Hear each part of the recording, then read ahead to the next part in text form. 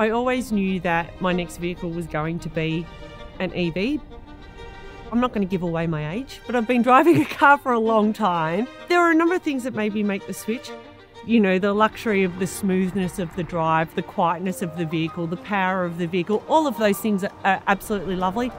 For me, having an EV means that I don't have the inconvenience of going to a petrol station anymore. You've got your petrol station in your garage.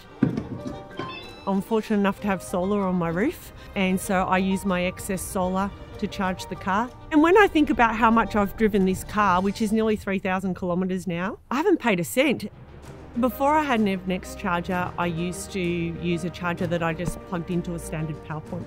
So that would charge at about two kilowatts, which meant that I wasn't maximising what I could get from the sun. So there was still energy going into the grid because I just couldn't pull it out fast enough. But I also had to carefully manage the rate of charge and I would use the car app to turn it on and turn it off as the sun came out and the sun went away to optimize the solar. Whereas now I'm fortunate enough to have a charger that is smart and once I've set my settings, it takes care of when to charge the car based on what I want. And I've told it to please only charge the car when there's excess solar. I don't have to do any of that manual stuff, I just let it all happen.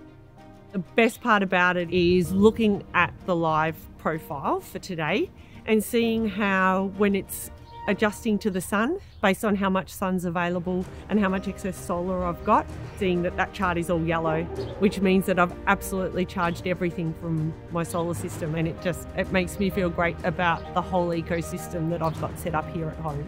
Even in the depths of Melbourne winter, I've been able to grab enough excess solar from that to keep my, my car charged to meet my needs.